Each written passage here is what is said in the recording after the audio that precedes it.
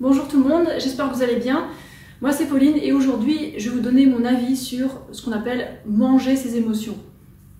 Quand on mange sous le coup de l'émotion, est-ce que c'est vrai ou pas? Alors mon avis est euh, mitigé, en fait je pense qu'il y a des cas où oui c'est vrai et d'autres cas où l'explication est tout autre en fait. Donc euh, j'espère que cette vidéo va vous être utile, restez accrochés, on commence tout de suite.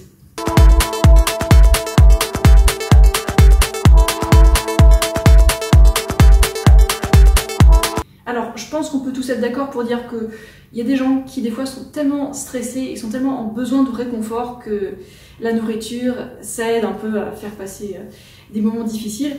Et dans certains cas, euh, la nourriture, c'est le seul truc vraiment réconfortant dans la vie d'une personne. Et dans ce cas-là, on peut dire que manger euh, beaucoup, beaucoup trop et manger des mauvaises choses, c'est fait sous le coup de l'émotion. Donc, vous en voulez pas trop hein, si c'est votre cas. Et je pense que réduire son stress et puis réorganiser sa vie de manière à ce que ce soit plus vivable, à long terme, ce serait vraiment une priorité parce que s'oublier et puis laisser le stress nous envahir, bah, à long terme, ça va être euh, de, pire en pire pour notre corps, pour notre esprit. Donc bah, c'est déjà une chose à résoudre. Ensuite, deuxièmement, il y a des cas où quand les gens mangent, bah, en fait, c'est pas à cause des émotions, c'est parce que le corps en a vraiment besoin. C'est parce que le corps a un besoin légitime de certains nutriments. Et c'est vrai que quand les personnes s'y connaissent pas vraiment en nutrition, ben, elles culpabilisent et disent Oh, c'est mes émotions, j'arrive pas à me contrôler. Et euh, là, j'ai plein de choses à vous apprendre. C'est super important en fait. C'est pour ça que je fais cette vidéo. Parce que, regardez, la régimeuse typique, elle se dit Tiens, maintenant je vais faire régime, perdre du poids. Je vais manger plein de légumes et puis. Euh, il se passe ce qui devait se passer. Au bout de quelques jours, bah, hop, euh, la personne craque sur des friandises, des croissants, du chocolat et tout, et puis euh, elle culpabilise, elle n'ose pas en parler, et puis voilà, elle craque euh, sur des desserts gras. Elle se dit, bah, bah j'arrive pas à me contrôler, je suis nulle, tout ça. Ben non, en fait, je dirais que c'est une bonne chose que le corps réagisse comme ça, parce que le corps a des besoins, et si on n'y répond pas, ben à un moment, il va nous pousser à manger les trucs les plus caloriques possibles. Dans la nature, c'est une chose positive parce que ça nous permettrait de survivre. Au cas où on ferait des bêtises, on oublierait de manger assez. Mais dans le monde moderne, où il y a plein d'aliments qui sont pas bons du tout et qui sont très faciles à se procurer, qui coûtent pas cher et qui sont hyper satisfaisants pour le palais, et ben dans ce monde moderne, si on abuse de ces aliments-là, ben, on aura des problèmes, des problèmes de santé, problèmes de poids, problèmes de confiance en soi. Et là, il est temps de retrouver un peu euh, les rênes euh, de son alimentation. Alors, je vous parlais des besoins du corps. Le corps a, oui, besoin de calories, besoin de vitamines, tout ça, mais euh, il a surtout besoin de glucides. C'est le nutriment le plus important du corps. Je dis pas que les autres comptent pas, mais quand je dis le plus important, je dis que le corps a un besoin primordial de glucides. Ça, c'est le fruit de mes, des recherches depuis plus de 10 ans. Et quand on regarde vraiment ce que les études nutritionnelles racontent, bah, c'est avec les alimentations les plus riches en glucides que les résultats de santé sont les meilleurs. Et en fait, qu'est-ce qui se passe quand on mange assez de glucides? C'est-à-dire des sucres simples et des sucres complexes, hein, c'est les deux euh, tout confondus. Bah, ce qui se passe, c'est que bah, l'estomac il a détecté tout ça avec ses petits capteurs et il se dit Ah, c'est bon, en fait, j'ai eu euh, ce que je recherchais euh, le plus profondément, maintenant c'est bon, je vais te laisser tranquille avec la faim. Bon, ce qui compte pour la faim, oui, c'est les glucides. Il y a aussi les fibres qui comptent un peu. Il y a aussi un peu les lipides et un peu les protéines. Mais en tout cas, faites attention à ça. Glucides avant tout. Je connais assez peu de gens en fait qui se ruent sur des fruits et des légumes parce qu'il manque euh, de vitamine C ou d'eau. Hélas, hélas. Donc ces aliments riches en glucides dont je vous parle. En fait, je ne parle pas de chocolat ou de beignets ou de croissants ou de gâteaux, tout ça.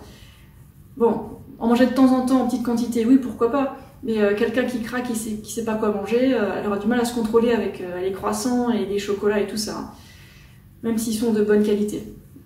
Donc, pour prévenir tout ça, visez les aliments qui sont pauvres en graisse, parce que, en fait, si on mange des aliments pauvres en graisse et riches en glucides, bah, même si on fait des excès, ce sera pas grave. Je fais tout le temps des excès d'aliments riches en glucides et pauvres en graisse, et je peux pas dire que j'ai du poids en trop au contraire, je suis euh, juste bien dans la plage saine de poids et je vais juste apprendre quels aliments manger. Alors, numéro 1. Ça y est, elle est revenue avec ses bananes.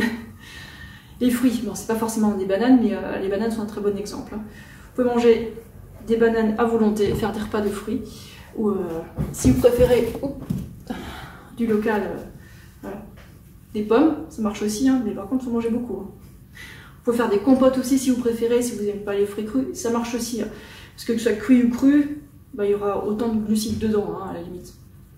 Ok, donc ça c'est pour les sucres simples. il y a aussi les sirops qui dans les sucres simples que je conseille aussi. Et dans euh, les aliments cuits, bah, il y a les, flocons d'avoine, euh, les flocons de maïs pour petit déjeuner. Il y a aussi euh, les jus de fruits, les smoothies, les pâtes, le riz, les pommes de terre, le manioc, les patates douces, le miel, le quinoa. vous avez compris, hein. c'est les féculents. Si on mange assez de féculents, bon, on devrait être quand même bien calé à la fin du repas et vous n'avez pas besoin de comptez vos calories. Hein. Si vous avez faim, il faut manger. Si vous avez encore faim après un repas, c'est que le repas n'était pas suffisant. Instinctivement, euh, ça devrait marcher. Bon, après, ça ne marche pas pour tout le monde.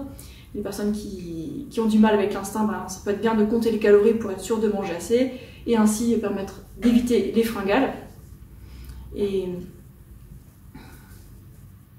en fait, vous n'avez pas besoin de manger des trucs riches en protéines et riches en graisses.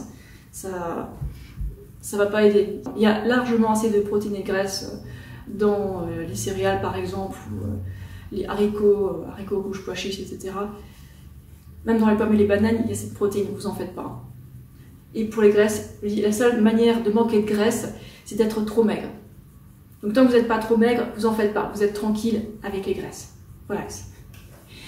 En tout cas, si vous n'êtes pas au poids que vous voulez, si vous perdre du poids, ben, je dis mangez plus de fruits et de féculents il y a des gens qui vous raconter le contraire, mais ces gens-là, fuyez-les, fuyez-les, parce qu'à long terme, si vous écoutez ce qu'ils racontent, vous allez vous trouver dans un état, un état émotionnel euh, vraiment pas bon, et puis euh, physiquement, bah, à moins de faire la restriction calorique et d'être hyper discipliné, vous n'allez pas être euh, là où sont vos résultats.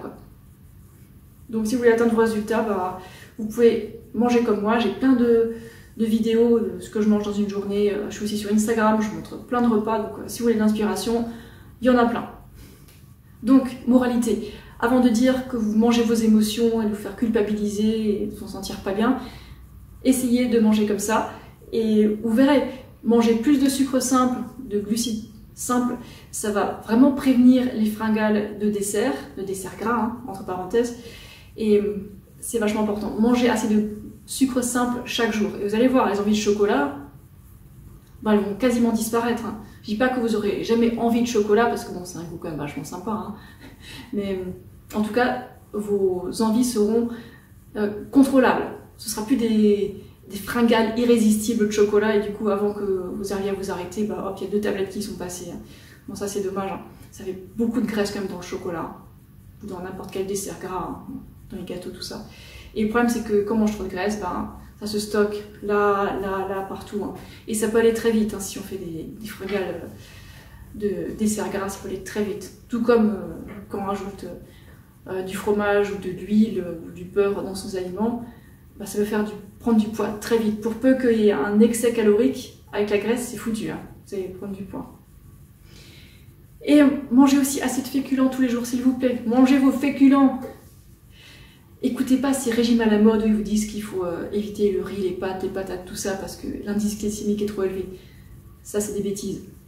On s'en fiche de l'indice glycémique. Qu'en fait, quand on mange peu de graisse, l'indice glycémique, ça compte pas. On s'en fiche.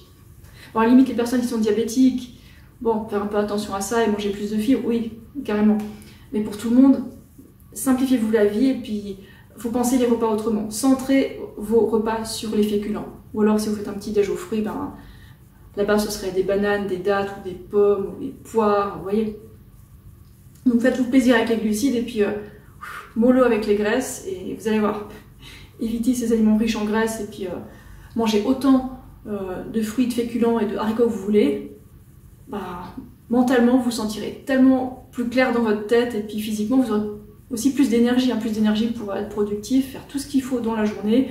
Euh, aller travailler, vous occuper des enfants, faire du sport, ou juste faire des conversations agréables avec les amis, et puis être relax, sans être obsédé tout le temps par la nourriture.